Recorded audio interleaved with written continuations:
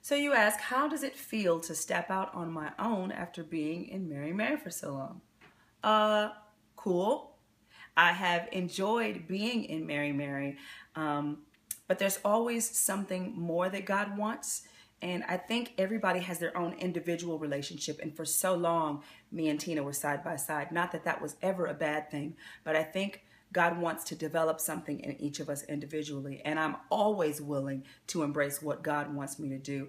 And uh, it is it has caused me to learn a lot about myself, um, to pay attention to my gift on and off stage in different ways, uh, and I am enjoying it thoroughly. The reason I can enjoy it so much is because Tina is my number one cheerleader and supporter. And we're still like this. This separation didn't happen because we got so mad at each other and we couldn't deal with each other. I still talk to Tina every single day. I support her, she supports me, and we are growing and becoming better for it. And I'm very, very grateful to God that He allowed the process to happen exactly the way it did.